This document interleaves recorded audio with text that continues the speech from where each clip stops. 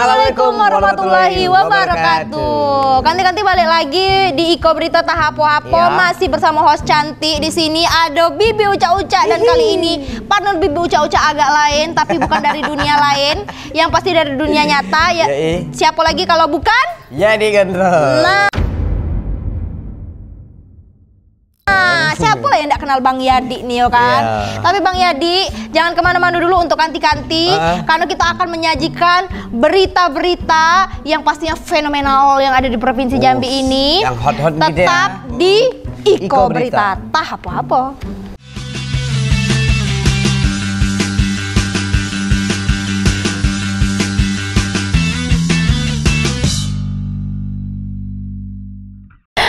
Lagi ganti-ganti bersama Bibi Uca-Uca dan juga Jadi gendrong. di Iko Berita Iya, Tahapo-hapo. Nah, jadi kali Iko ada berita tentang perundungan. Be. Perundungan itu sama dengan bullying, ya Bullying, kan? Nah, betul. banyak nih kasus-kasus yang terjadi saat ini di era Digital ini. Nah, banyaknya sudah tersebar yang Betul. mungkin yang mungkin ini adalah contoh buruk ya. Jadi buat teman-teman, buat adik-adik semuanya jangan pernah ditiru. Jangan pernah. Nah, Apalagi membuli kasihan korban sama pelakunya. Betul. Pelakunya dapat efek juga, korbannya lebih dapat efek eh, lagi. Nah, jadi berita yang pertama ini ada apa nih? Berita pertama aksi bully dan perundingan siswa kelas X SMA Negeri 2 Batanghari pada Sabtu lalu dibantah pihak sekolah. Mus Mulyadi kepala sekolah membantah yang terjadi merupakan perundingan. Ia mengatakan mereka bertikai dan duel satu lawan satu. Hanya saja disayangkan dipertontonkan teman-teman lalu divideokan. Nah, itulah kan. Zaman sekarang ini musim viral. Jadi dikit-dikit viral. Nah, jadi buat kanti-kanti adik-adikku sayang jangan sampai kalian ini eh, viral karena hal negatif. Betul. Buat Ayu jagonya macam mana berita ya? Kita tengok. Berita ya.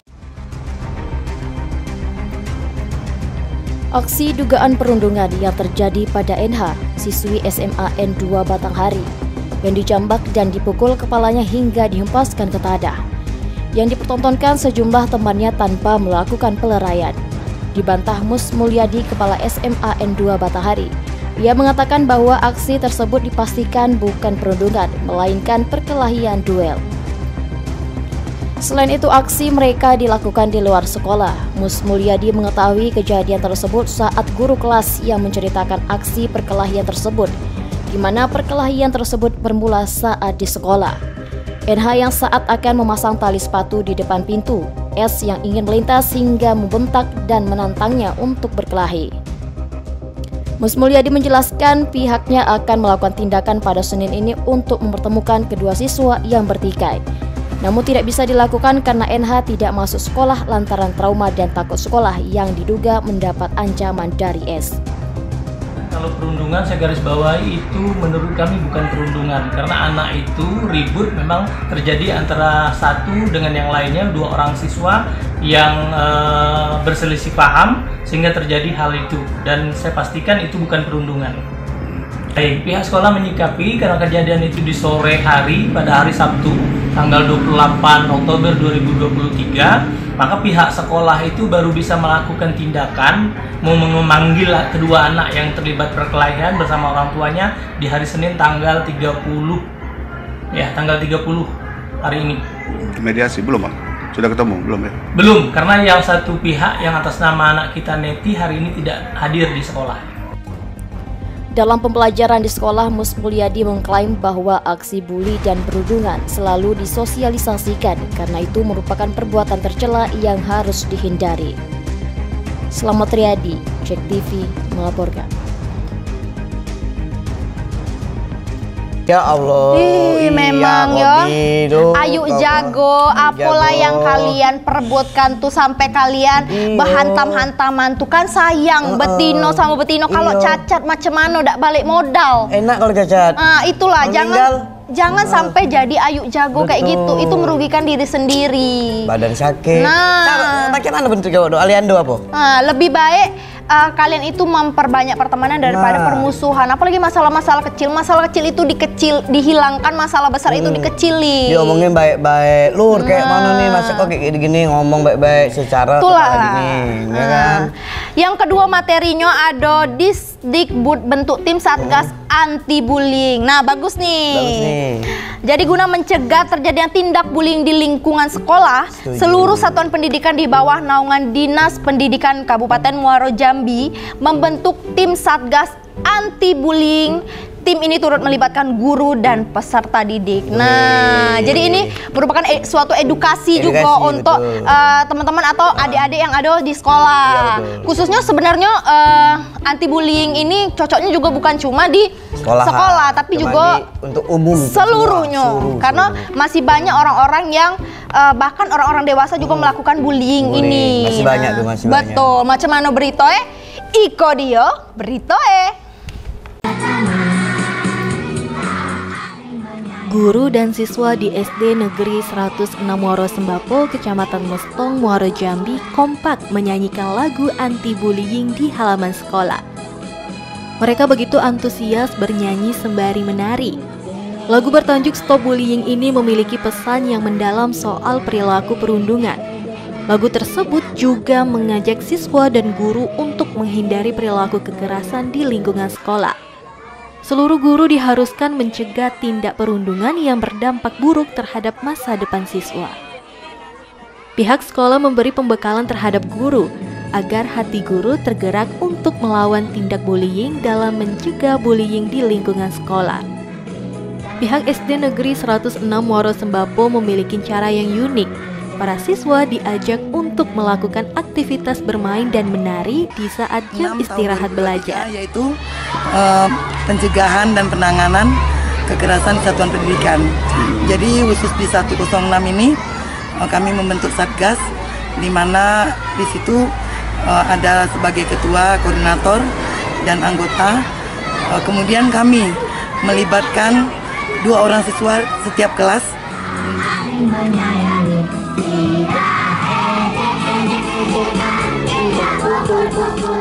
Dinas Pendidikan mewajibkan setiap satuan pendidikan jenjang PAUD, SD, dan SMP untuk membentuk tim Satgas Pencegahan dan Penanggulangan Bullying. Adapun tim yang beranggotakan guru, komite, orang tua siswa dan siswa ini diharapkan mampu mencegah tindak kekerasan di sekolah. Dinas Pendidikan menyatakan, meski terjadi beberapa kasus bullying antar sesama peserta didik, namun hal tersebut bisa diselesaikan oleh pihak sekolah.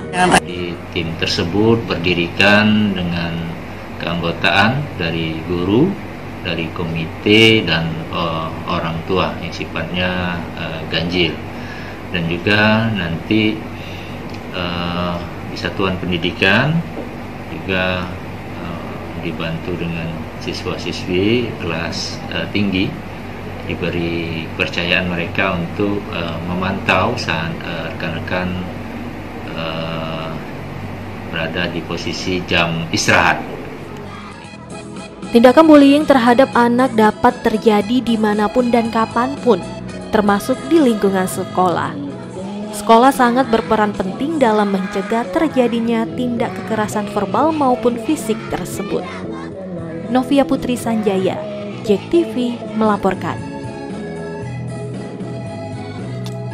Nah, itu dia. Jadi kita Keren, turut keren. menapresiasi. Apresiasi. Eh, bahkan ini sebenarnya bukan cuma kalau bisa bukan cuma di Muaro Jambi, tapi di Betul. seluruh Indonesia Seluruh ini Indonesia. wajib dilakukan anti bullying ini, Ah. edukasi-edukasi eh, betul. terhadap sekolah-sekolah eh, untuk anti bullying Betul. atau eh, anti Ada mainstream gitu. bukan, bukan anti mainstream lah. Ya, pokoknya jangan sampai terjadi bullying Hmm, lagi, betul. bully lagi. Karena aku jujur aku efek dari bully juga. Nah, jangan sampai, Jangan sampai. seseorang itu kena bully malah eh, berdampak negatif Iya. seperti maaf ngomong amit-amitnya sampai eh, melenyapkan nyawa Iya. gitu karena dia malu atas bullying tersebut. Karena salah satu kawan aku di TikTok juga kena yuk. Adiknya meninggal gara-gara dibully. Bully. Kuat dia dibully. Manusia itu tidak ada yang sempurna kawan-kawan. Jadi jangan sampai kalian eh, merasa diri kalian sempurna Ya. terus membuli orang. Eh jangan jangan sampai nih. Apalagi eh busung dada tuh jangan Nena. Iya betul. Lanjut berita ketiga nih ada apa nih di? Nah, berita ketiga ada dugaan kasus bully atau perundingan terjadi di dunia pendidikan di Kecamatan Tembesi, Kabupaten Batanghari. Nah, siswa kelas 10 SMA 2 Batanghari trauma setelah berkelahi yang dipertontonkan teman-teman sekolahnya. Dalam video yang beredar tampak dua siswa SMA 2 Batanghari berkelahi berjambak rambut yang dipertontonkan siswa lainnya di Kelurahan Pasar Tembesi Kabupaten Batanghari. Berarti ini adalah berita yang tadi nih, yang Berita Ayu Jago tadi, tadi, Ayu yang berjemput-jemputan dua, Hmm, dua orang tuh. tadi. Macam Trauma kan? Nah, itulah tadi udah kami bilang. Jadi itu ada efek negatifnya Betul. terhadap eh, masing-masingnya pihak-pihak itu dua pihak itu pasti dirugikan. Banyak yang satu trauma, dua yang buruknya amin amin ya Allah jangan sampai ya Kobi. Sampai menghilangkan nyawa tadi, ya. Mental sama ih menghilangkan nyawa jangan. Macam mana berita eh? Iko Dio Brito. berita. Aku tak bisa nengok ini. Allah, kematian aku ya Allah, kematian aku. ES orang tua NH histeris menangis saat melihat video anaknya yang dipukul dan dijambak rambutnya hingga dihentakkan ke tanah oleh S teman sekolahnya. ES nyaris pingsan dan tidak terima anaknya diperlakukan sedemikian. ES menceritakan bahwa temannya berinisial S yang melakukan perkelahian yang dipertontonkan teman sekolahnya yang memvideokan aksi pemukulan anaknya tanpa ada yang meleraikan. Kejadian ini pun membuat anaknya mengalami trauma hingga NH takut untuk ke sekolah lantaran mendapat ancaman dari lawannya. Trauma berat lantaran NH mendapat ancaman setelah dijambak rambutnya hingga dihentakkan ke tanah pada Sabtu sore lalu. ES meminta kasus tersebut ditangani cepat oleh pihak kepolisian dan pelaku diberikan sanksi sesuai dengan hukum yang berlaku. Seperti apa nih? Iya, saya sakit Pak jantung kan saya nengok anak saya macam tu. Saya tak senang, Pak. Takut terulang lagi taruh kejadian sama anak kami. Anak kami diacap. Ya Allah. Ibu tahunya kapan itu? Jam 9 malam lah kami nengok videonya. Bawa anak kami ke rumah sakit, kami khawatir anak kami macam mana. Nengok macam tu anak kami. Memangnya dalam videonya seperti apa Bu kejadiannya Bu? Anak kami tidak ada perlawanan kayaknya. Dari cengkamannya, Pak. Tidak bisa lepas anak kami dari cengkamannya. Jadi ibu eh, sok melihat kejadian bu ya? Iya, Pak kami kami jatuh sakit, Pak kami terpensan. Kami dengan uh, yang berwajib minta tolong selesaikan sebaik-baik mungkin macam mana anak kami ini masa depannya bisa sekolah macam mana. Kalau bagaimana hukum yang berlaku, kami minta tolong. Saya tak senang, Pak, anak kami ini macam Iko. Senang kami. Yang lebih kami tak senang, Pak, Rangka masih diancam, Mina. Ini dia masih balik. Dia pulang seperti apa Bu? Dia nangis, kepalanya sakit katanya. Langsung masuk kamar. Itulah, tak tahu kan kenapa sakit kepala kau. Tak ada bilang dia. Sampai hari ini masih terasa sakit katanya. Ya masih terasa sakit, kepalanya kan diempas-empas. Pak. Tengoklah keadaannya di video tuh. Dalam dua video berdurasi 34 detik dan 18 detik ini, memperlihatkan dua orang siswi SMA tengah berkelahi dan saling menjambak rambut di kebun warga. Diketahui ada beberapa siswa-siswi lain di lokasi tersebut yang merekam dan menyaksikan perkelahian tersebut pada Sabtu sore. Namun sayangnya tidak ada satupun yang melerai kejadian tersebut. Selamat Riyadi, Cek TV melaporkan.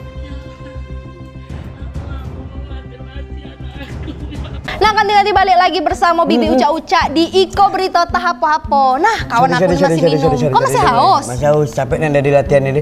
Nah, lebih bagus lagi ke latihan tadi kan disalurkan bakat gitu terpendam tadi atau dendam gitu terpendam tadi itu disalurkan untuk prestasi. Betul, banyak juga efek-efeknya badan sehat, ya kan, Nah, olahraga, betul nih keluar ya. keringat, daripada itu keluar ih. Di di segmen 2 ini masih ada tentang pendidikan nih. Kalau tadi tentang perundungan, ini ada tentang pendidikan, Hmm. Pendidikan. yang masih sangkut pautannya juga. Hmm. Tapi di kali ini ada program studi komunikasi penyiaran Islam Fakultas Dakwah UIN STS Jambi telah melaksanakan asesmen lapangan oleh Badan Akreditasi Nasional Perguruan Tinggi Negeri.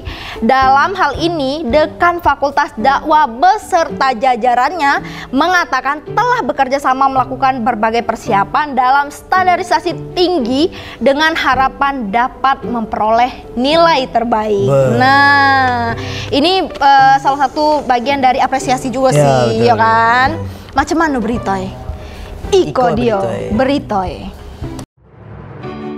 Pelaksanaan asesmen lapangan dalam proses akreditasi Prodi Komunikasi Penyiaran Islam Fakultas Dakwah UIN STS Jambi telah dilaksanakan oleh Badan Akreditasi Nasional Perguruan Tinggi Negeri atau BAN PT pada Sabtu 28 Oktober 2023 di Gedung Fakultas Dakwah. Adapun tim asesor yang bertugas adalah Dr. Hamidah dari UIN Raden Fatah Palembang dan Profesor Sulhan Hakim dari UIN Saifuddin Zuhri Purwokerto.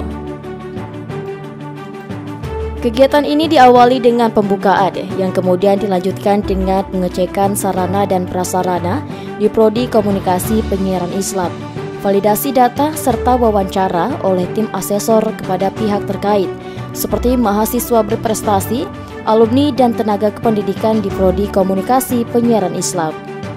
Seluruh proses ini merupakan tahapan asesmen lapangan dengan tujuan untuk melakukan penilaian lapangan dengan verifikasi, validasi, dan klarifikasi data dan informasi serta kinerja prodi tersebut. Dalam hal ini, Wakil Dekan Akademik dan Kelembagaan Ansu Saputra menyampaikan, persiapan jelang akreditasi ini telah dilakukan dengan standarisasi tinggi dengan persiapan dari berbagai aspek, Dalam untuk persiapan akreditasi kemarin kita memper- mempersiapkan banyak hal ya. Karena ini terkait dengan penilaian eh, apa kepantasan dari KPI dalam eh, meraih predikat akreditasi yang lebih tinggi. Maka kami juga membuat standar yang lebih tinggi. Yang pertama adalah dengan adanya eh, keberadaan labor eh, untuk menunjang skill mahasiswa untuk mencapai profil lulusan KPI yang diharapkan. Kemudian kita juga eh, mempersiapkan apa namanya mahasiswa kemudian juga alumni ya, untuk kemudian diwawancara oleh pihak apa namanya asesor eh, sehingga nanti bisa dinilai bagaimana eh, kinerja dari prodi KPI selama ini ya selama tiga tahun belakang seperti itu. Eh, kita juga mempersiapkan eh, apa namanya mengumpulkan dokumen-dokumen terkait dengan pencapaian-pencapaian kinerja baik itu basisnya adalah fakultas maupun itu dari kinerja prodi mulai dari, dalam bentuk tridharma program tinggi ya yaitu pendidikan pengajaran kemudian penelitian dan pengabdian masyarakat. Sementara itu, Dekan Fakultas Dakwah Zulkarnain menyatakan kerjasama dalam melakukan berbagai persiapan selama satu bulan terakhir ini nantinya akan memperoleh penilaian terbaik yaitu dengan nilai unggul. Adapun target yang ingin kita raih ini merupakan harapan eh, mudah-mudahan prodi KPI eh, mendapat akreditasi unggul. Nah, tentunya ini harapan kita dan eh, insya Allah akan tercapai karena ya kita apa prodi KPI ini sudah yang ketiga kalinya ya melaksanakan akreditasi. Nah, sebelumnya itu kan eh, sudah tinggi juga nilainya kan. Mudah-mudahan eh, akreditasi yang ketiga ini kita memperoleh eh, predikat unggul. Suciati, Reni, Rosi, Adi, Jack TV melaporkan.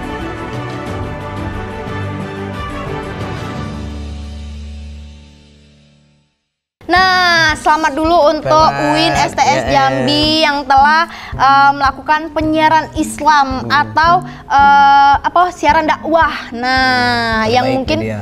iya yang baik dan juga mungkin bisa juga nih menyalurkan bakat-bakat atau eh, eh, apa komunikasi, Komunikasi yang baik, baik. dari eh, siaran Islam ini tadi, betul, ya kan menyiarkan yang baik gitu. Mantap, sukses terus. Jadi suatu apresiasi untuk Win STS Jambi. Ya, iya. Jadi Jambi ini semakin maju Semakin maju, pendidikannya. semakin Di. terbaik. Nah. Hilangkan yang negatif. Kalau yang kedua beritanya tentang apa nih, Di? Yang kedua, sebagai bentuk kepedulian terhadap dunia pendidikan, Ketua DPRD Provinsi Jambi, Edi Purwanto, Mm-mm. eh salah, Purwanto. Edi Purwanto bener di Oh benar ya? Mangko Nyodi, tadi kalau masih capek latihan boxing minum yang banyak dulu, buru-buru jadi biar fokus. Nih, kawan jadi gue. yang kedua ini ada tentang Edi Purwanto terus perjuangkan anggaran untuk pendidikan Jambi. Terus lanjut di Yang ke yang lanjutnya dari ya. Uh-huh. Bentar, bentar. Masih yang tadi nih. Sebagai bentuk kepeduliannya? Sebagai bentuk kepedulian terhadap dunia pendidikan, Ketua DPRD Provinsi Jambi Edi Purwanto akan terus melaksanakan amanah undang-undang dengan tetap mengarahkan 20% anggaran APBD Provinsi Jambi untuk pendidikan Jambi. Hal ini disampaikan oleh Edi Purwanto dalam kunjungannya ke SMA Negeri 1 Tebo. Nah, jadi Pak Edi ini Wes. eh, peduli, akan Peduli pendidikan, pendidikan, yang ada di Eh, Jambi, Jambi. semua di Jambi. Nah, jadi dia terus menganggarkan eh, anggaran APBD ini Iya, untuk betul. ngarah ke pendidikan. pendidikan untuk eh, anak-anak Jambi lebih Nah. maju lagi ya kan. Macam mana beritoe? Iko dio beritoe. Ketua DPRD Provinsi Jambi Edi Purwanto Selasa 23 Oktober berkunjung dan melihat kondisi SMK Negeri 1 Tebo sekaligus memberikan materi motivasi ke sejumlah siswa untuk semangat belajar dan meraih serta berani untuk memasang cita-cita yang tinggi. Dalam kesempatan tersebut, Edi Purwanto bahas soal pendidikan. Dia menyebut bahwa pendidikan vokasi juga menjadi bagian yang diprioritaskan oleh pemerintah Provinsi Jambi. Dengan harapan setelah lulus sekolah bisa langsung bekerja dengan keterampilan yang ada. Secara umum, Edi Purwanto berharap bagaimana Dinas Pendidikan untuk bekerja keras mengambil dana pusat. Meskipun memang sejauh ini Edi Purwanto melihat bahwa anggaran 20% yang disiapkan bukan murni untuk meningkatkan sumber daya manusia. Hal inilah yang terus akan diperjuangkan oleh Edi Purwanto terkait dengan anggaran-anggaran untuk dunia pendidikan. Karena menurutnya hal ini sangat penting bagaimana untuk mencetak kualitas SDM yang jauh lebih baik ke depannya. Pendidikan vokasi ini menjadi prioritas pemerintah provinsi. Tentu saya juga nanti akan lihat bagaimana postur anggaran kita, sebagaimana tadi Bu Ramayani juga um, memohon beberapa perbaikan termasuk ruang kelas baru. Ada tujuh kekurangan. Nanti pas saat ini pembahasan anggaran nanti kami akan lihat bagaimana kondisi anggaran kita. Mudah-mudahan bisa disupport dari anggaran APBD provinsi dan kita berharap juga bagaimana dinas pendidikan untuk kerja keras mengambil dana-dana pusat. Karena memang 20% anggaran pendidikan mandatory spending ini yang memang hari ini kondisinya bukanlah uh, menopang untuk peningkatan kualitas sumber daya manusia tapi lebih kepada belanja rutin. Sehingga yang 20% dan tuntutan undang-undang itu belum sepenuhnya terpenuhi. Maka spirit kita mudah-mudahan ke depan kita punya presiden kota presiden siapa yang memang betul-betul akan konsentrasi betul kepada pendidikan termasuk bagaimana nasib para guru dan lain sebagainya harus mendapat atensi khusus.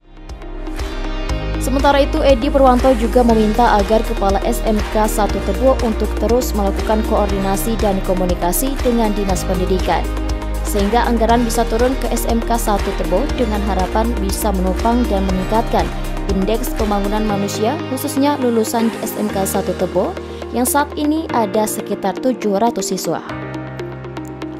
Rian Cencen, Jack TV melaporkan. Balik lagi bersama kami di Iko Berita Tahapo Hapo Masih bersama Bibi Uca Uca dan Jadi Gendra. Nah, jadi di segmen kali Iko ada apresiasi. Apresiasi. Apresiasi untuk siapa? Yang pastinya ada apresiasi yang luar biasa yang kita ucapkan untuk gubernur kita, Ya. Bapak Al Haris. Nah, jadi gubernur Jambi Al Haris ini menyambut ribuan peserta pawai ta'aruf STQH tingkat nasional 2023 di bumi sepucuk Jambi 9 Lurah. Kehadiran peserta pawai ta'aruf tersebut menampilkan mobil hias dengan konsep kendaraan dari setiap kafilah. Nah, jadi ini nih eh, sering kita tengok pawai-pawai mobil-mobil yang bagus-bagus ya Ya. hiasan tuh. Nah, kebetulan banget Hmm? tadi sama malam kemarin aku nengok yuk ada beberapa mobil lewat. Be, keren-keren nih Nah, dekornya. itulah orang itu memang niat ya dia. Ah, niat, niat. Cuman- Tapi kayak mana kalau kita tengok dulu di kayak mana bentuk-bentuk mobilnya? Nah, boleh tuh. Ah. Soalnya aku masih penasaran. Iyo, iko dia Britoe.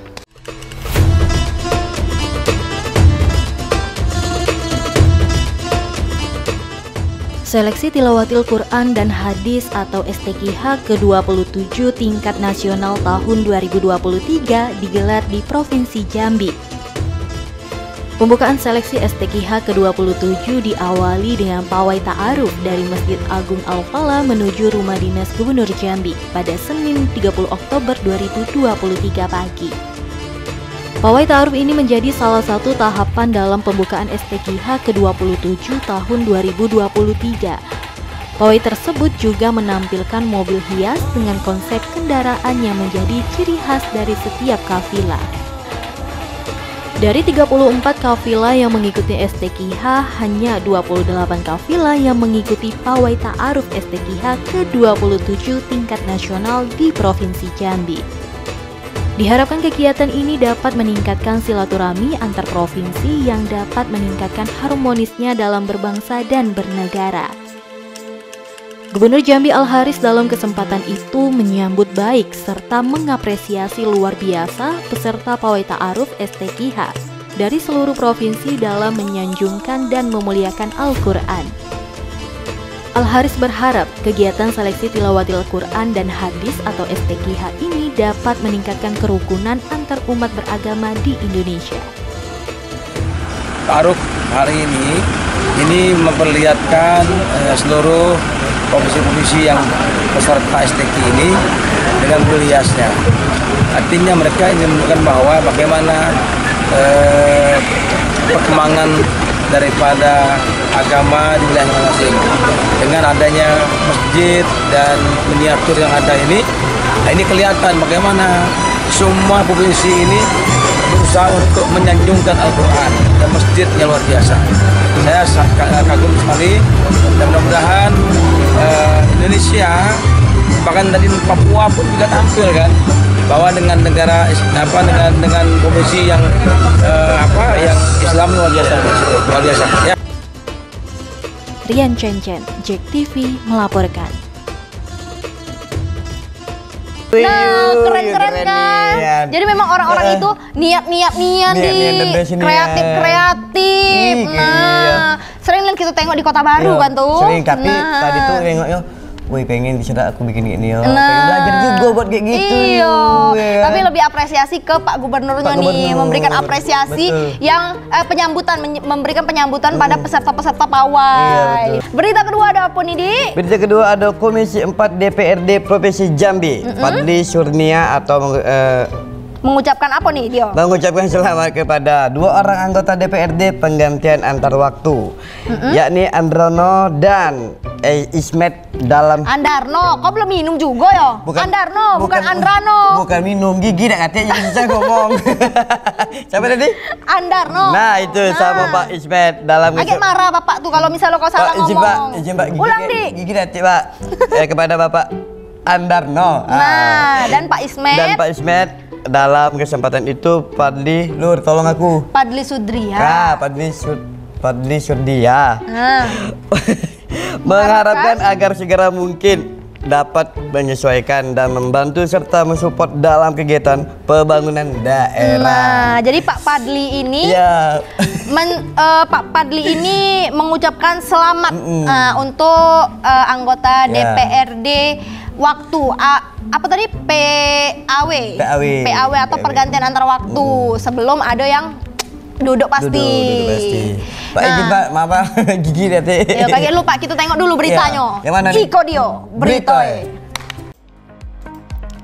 Andarno dan Ismet resmi menjadi anggota DPRD Provinsi Jambi, pengganti antar waktu untuk sisa masa jabatan 2019-2024. Pelantikan dua orang Dewan PAW tersebut dipimpin langsung oleh Ketua DPRD Provinsi Jambi dan disaksikan sejumlah anggota DPRD dan pejabat di lingkup Pemprov Jambi beserta keluarga.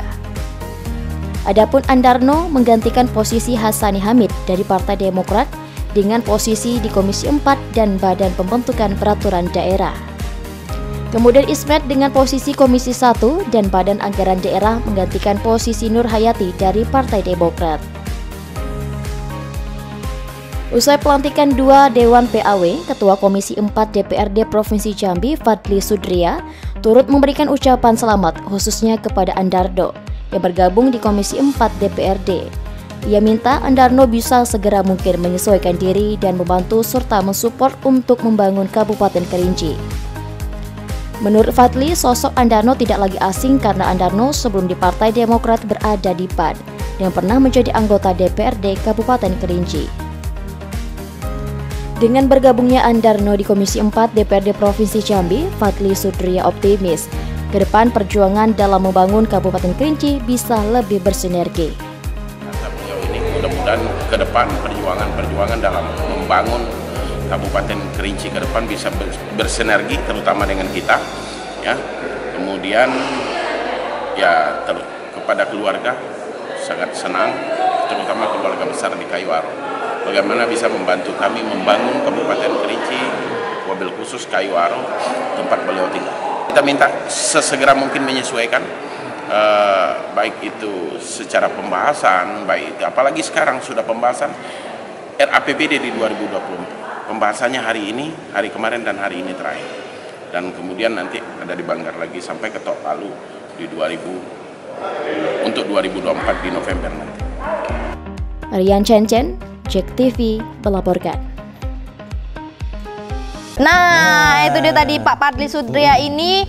Jadi dia ini besar harapan dia agar ya, segera terwujud lah program-program ini tadi, yo kan. Ya, nah, jadi bisa mensupport dan uh, langsung melakukan kegiatan. Ya, pembangunan daerah. Nah, ya. bener. Sukses terus Pak. Iya, sukses uh. terus Pak. Dan terima kasih sudah uh, berusaha uh. untuk memajukan Jambi ya. ini tadi. Thank you Pak. Nah, jadi kalau berita yang selanjutnya ini ada tentang Pemkot Jambi terima piagam penghargaan atas prestasi LPPD dengan status kinerja sedang. Nah, jadi pemerintah Kota Jambi ini menerima piagam penghargaan atas prestasi penyelenggaraan pemerintahan berdasarkan laporan penyelenggaraan pemerintah daerah atau LPPD tahun 2023. Dak sabar nih kita tengok yo beritanya macam mana iyo. Hmm. Lanjut be langsung iko dia berita Pemerintah Kota Jambi menerima piagam penghargaan atas prestasi penyelenggaraan pemerintahan berdasarkan laporan penyelenggaraan pemerintah daerah atau LPPD tahun 2023. Berdasarkan hasil dari evaluasi penyelenggaraan pemerintah daerah atau EPPD dari Kementerian Dalam Negeri pada tahun 2022, menetapkan Kota Jambi mendapatkan status kinerja sedang dengan skor 2,67. Piagam penghargaan tersebut diserahkan langsung oleh Sekda Provinsi Jambi Sudirman kepada pemerintah Kota Jambi yang diwakili oleh Wakil Wali Kota Jambi Maulana dalam rapat koordinasi GWPP Pembinaan dan Pengawasan Penyelenggaraan Pemerintah Daerah. Maulana mengatakan penghargaan LPPD yang diperoleh merupakan gambaran atas evaluasi kinerja pemerintah Kota Jambi dari berbagai aspek, baik dari pelayanan dasar, standar pelayanan minimal, penyelenggaraan urusan desentralisasi, tugas pembantuan, tugas umum pemerintahan, kinerja anggaran penganggaran dan aset, bahkan laporan kinerja. Ya, Alhamdulillah pemerintah Kota Jambi di provinsi ini eh, termasuk kategori tiga besar menerima eh, laporan evaluasi penyelenggaraan pemerintah daerah kriteria sedang tentu ini menjadi motivasi bagi kita semua untuk terus meningkatkan uh, tata kelola pemerintahan yang baik, yang akuntabel, yang transparan. Kami tentu mengucapkan terima kasih kepada seluruh staf kami, seluruh OPD yang mendukung penyelenggaraan pemerintah daerah, sehingga Kota Jambi termasuk tiga besar yang tertinggi di Provinsi Jambi. E, berkaitan dengan tata kelola pemerintah, baik itu di bidang keuangan, di bidang perencanaan, di bidang laporan kinerja dan akuntabilitas pemerintah. Heru Syaputra, Cek TV, melaporkan. Ganti balik lagi bersama Bibi Uca Uca di Iko Berita Tahap Wapo Tapi kali ini si Adi ini ke mana nih yo? Dari mana di? Itu tadi nah yang nolong orang tadi tuh. Kenapa? Aku niat balikin. Ha-ha. Lah aku pula dibolak-balikin. nyebrang lagi, nyebrang lagi, nyebrang lagi. Konyol kau, jangan ngambil jasnya kau tuh. Sorry, sorry, sorry, sorry. Nah, Ganti, ganti-ganti. Memang ya Dik ini agak-agak ini dikit ganti-ganti. Kadang Ah. dia nih kadang ada sendal kawan galak tertukar, tak ambil juga. Jadi Kadang jangan Iya, tahu. jangan dicontoh ganti-ganti Iya. ya. Nah, Betul. Di.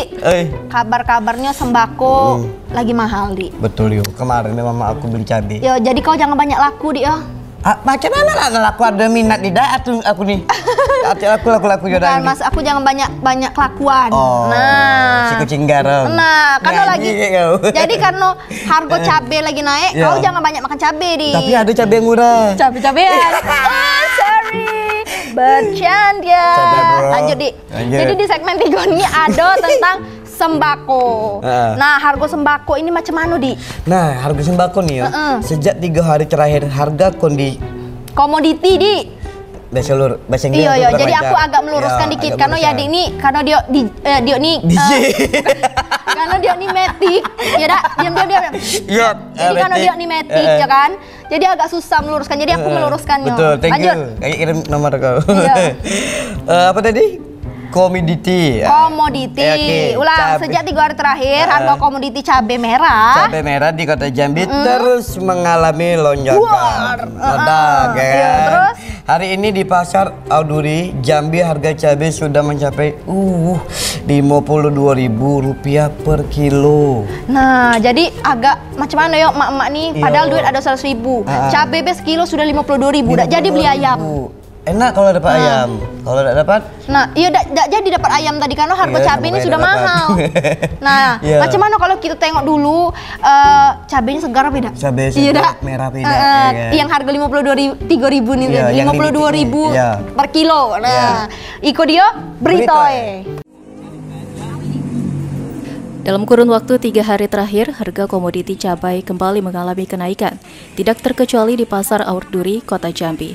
Hari ini, 26 Oktober 2023, harga cabai merah mencapai harga Rp52.000 per kilogramnya. Dikatakan Bastian, salah seorang pedagang, lonjakan harga sudah terjadi pada awal pekan kemarin. Semula hanya Rp38.000, kini naik menjadi Rp52.000. Kenaikan ini juga berimbas pada tingkat penjualan sejumlah pedagang. Mereka mengaku daya beli masyarakat menurun drastis, sehingga omset penjualan pun mengalami penurunan. Mulai hari Minggu Hari Minggu itu dari harga berapa tuh Pak? dari harga 4 eh 38 38 38 40 Mhm. naik ke 48 nah ini ke 50 Hari ini hari ini lima. normalnya 13 ke 4 Oke, jadi sekilonya 52 ya Pak ya? Nah ini naik dari kapan nih Kak? Dari harga berapa nih? Dari 40 48 sekarang 50 50 Nah untuk penjualan sendiri ngaruh dah nih Kak? Karena naik harga? Kak, tak berapa laku sepi kan bagi kataku Oke, pembeli belinya jadinya dikit-dikit sampai kayak berapa? Adapun penyebab kenaikan harga pada cabai disebabkan oleh berkurangnya pasokan dari lokal seperti Palembang, Medan, dan Jawa Tengah. Para pedagang berharap harga cabai dapat kembali turun dan stabil serta daya beli masyarakat dapat meningkat. Lina Liska, Cek TV, melaporkan. Belum makan cabai bela pedasan aku. Karena dengar omongan aku tadi, apa omongan tetangga? Eh, Argo nih nah, Oh, pedasnya harga kira dengar omongan tetangga tadi pedas. dikit. Iya, jadi kamu udah salah makan cabai, kamu Iya. dengar be omongan tetangga, kamu keluar malam, kamu dibilangi yang Iya. ida-ida itulah pedas. Jadi tanpa kamu eh, makan cabai, yang 52 ribu tadi. Ah, jadilah Ah, pedas. iya, Jadi, lah. dak caranya gini, Di. Caranya gini, kamu mbek nasi. Iya. Nah, kamu sambil dengar di ocen tetangga tentang kamu tadi. Pedas iya. langsung. Bila perlu langsung hari hari kemarau langsung buar melo- lebih melonjak daripada Yang harga cabai tadi. tadi. 150 rupiah. Oh, ya tensinya. Tensinya naik. Lanjut di. Lanjut. Ada di stok bahan pokok aman di tingkat pedagang. Jadi ini ada di Kuala Tungkal, kebutuhan bahan pokok di akhir bulan Oktober ini hmm. cenderung tak menentu. Bahkan terdapat kenaikan beberapa jenis kebutuhan pokok. Salah satunya seperti cabai tadi, ya, kan? Cabai merah, cabai rawit, bawang, bawang merah, bawang putih, putih kan? Ya. Jadi walaupun uh, demikian, hmm. Dinas Ketahanan Pangan pastikan ketersediaan bahan pokok tersebut aman di tingkat pedagang. Oh. Nah. Macam mana nih Britoy? Iko Dio Britoy. Dinas Ketahanan Pangan Tanjab Barat setiap hari dan setiap minggunya selalu memonitoring berbagai harga kebutuhan pokok, baik dari sisi harga maupun stok pangan. Kepala Dinas Ketahanan Pangan Tanjab Barat Ian Eri menjelaskan, laporan harga kebutuhan pokok wajib diketahui oleh Dinas Ketahanan Pangan untuk mengatasi kendala-kendala kebutuhan pangan di pasaran. Dikatakannya, hingga saat ini jenis kebutuhan dasar masyarakat untuk memasak yang kerap cenderung tidak stabil yakni cabai merah. Di mana sebelumnya 33.000 per kilonya, saat ini naik menjadi 35.000 per kilonya. Begitu pula cabai rawit, yang sebelumnya Rp33.000 kini naik menjadi Rp32.000 per kilonya. Sedangkan bawang putih cenderung turun, di mana sebelumnya sempat di harga Rp35.000 per kilonya, saat ini turun menjadi Rp32.000 per kilonya. Dan bawang merah cenderung masih stabil atau tidak ada kenaikan, karena saat ini bawang merah masih di harga Rp22.000 per kilonya. Sedangkan untuk kebutuhan lainnya seperti beras, ayam potong, minyak goreng, dan gula pasir masih cenderung stabil. Ketahanan pangan itu ada 11 bahan jenis komoditi bahan pokok yang selalu kita pantau setiap minggunya e, dari ketersediaan bahan kebutuhan pangan ini masih mencukupi kebutuhan di Kabupaten Tanjung Jabung Barat. Fluktuasi harga tentunya ada beberapa jenis komoditas saja yang terjadi penaikan dan turun. Namun ketersediaan hari ini masih berada di titik aman di Kabupaten Tanjung Jabung Barat. Mungkin dok kalau untuk yang ketersediaan apa yang untuk sering naik seperti jenis apa benda kalau bahan pokok? Uh, sampai minggu hmm. keempat hmm. ini uh, bawang putih, cabe, eh, cabe, cabe merah dan cabe rawit itu mengalami peningkatan tapi tidak signifikan hari ini. Berarti kenaikannya berapa, berapa kalau untuk sekarang? Uh, untuk untuk di minggu keempat itu ada 2000 rupiah per uh, cabai merah dan cabai rawit. Berarti uh, pada intinya masih relatif ini semua masih, standar, masih, masih terjangkau dalam, lah itu. Masih dalam pengamanan Pengaman. dan cukup tersedia kebutuhannya. Lebih lanjut Ian Eri menambahkan, Jelang akhir tahun nanti, ia pastikan stok sejumlah kebutuhan bahan pokok dipastikan aman dan tersedia dengan baik. Terkhusus di tingkat pedagang, dan jika pun terjadi gejolak harga, maka juga akan dikaji juga untuk dilakukan operasi pasar. Surya Kurniawan, Jack TV melaporkan. Nah, jadi uh, Dinas Ketahanan Pangan pastikan ketersediaan bahan pokok nih masih tersedia di kalangan pedagang. Jadi walaupun melonjaknya harga, hmm. tetap bahan-bahan pokok itu masih uh, dikategorikan aman, aman masih aman ya. persediaan itu masih aman, masih aman. sampai mungkin uh, akhir tahun akhir mungkin. Tahun. Nah, jadi di uh. kau udah usah makan cabai. Uh. Uh, karena kan macam ini cabai kan mahal. Cabai mahal. Barang-barang mahal. Barang-barang mahal. Nah jadi kita makan yang hemat-hemat be. Nah sekarang aku lagi lebih hemat lagi yuk apa tuh? Alhamdulillah karena aku udah gigi. Mm -hmm. satu cabai aku udah kuat makan. Mm -hmm jadi yang keras-keras kayak ayam juga aku kurang bisa. Nah, jadi kau makan apa ladi? Kerupuk pakai es teh, celup. Mantap. Nah, kanti-kanti buat nak nyobonya langsung yeah. baik. Tapi kanti-kanti nak yeah. kalian makan apa pun yeah. ya kan, nak minum es teh yeah. campur kerupuk tadi, tidak uh. apa-apa juga. Tapi jangan lupa makan apa pun sambil nonton Iko, Iko Berita Tahapo-hapo setiap hari Rabu jam 8 malam hanya di Jack TV Inspirasi kita. Nah, jumpa minggu depan. See you.